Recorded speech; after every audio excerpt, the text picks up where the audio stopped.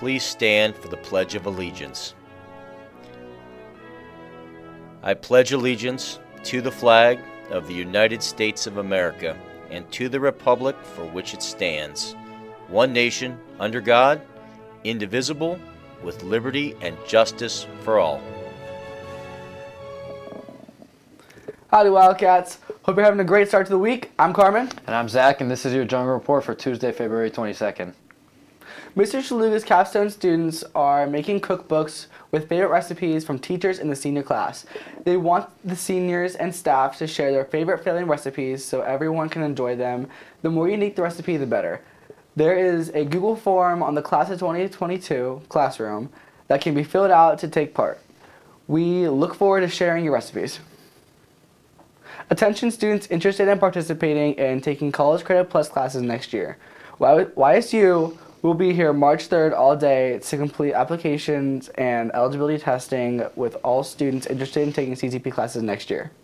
If you're already enrolled and would like to take more classes next year, please see Mrs. Dubas ASAP so you can apply. All students who show interest need to see Mrs. Dubas so she can add you to the applicant list by February 25th. Spring athletes, be sure to register on final forms and get your physical before the first mandatory practices. Spring sports meeting is March 2nd at 6 p.m. at the SMS. Did you do it yet for track? I did not. That's too soon. I've been working for all all the. That open, makes two of us. All the open gyms.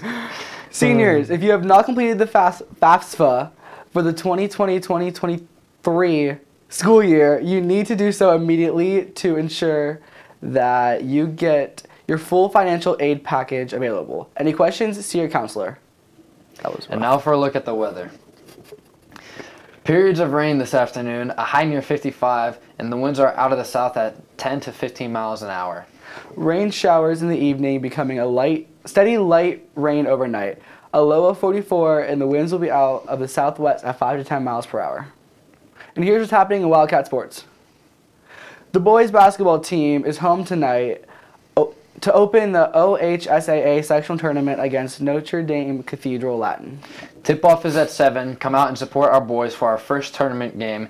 If you can't make it, you can watch it live on YSN. I better see everyone there. Better it's gonna there. be a big game. You gotta go. Go support our boys. I know I'm going. I called off work for this. I did not. But thanks for watching the Jungle Report for today, February 22nd. I'm Zach. And I'm Carmen. Hope you have a wonderful day, and we'll see you guys tomorrow.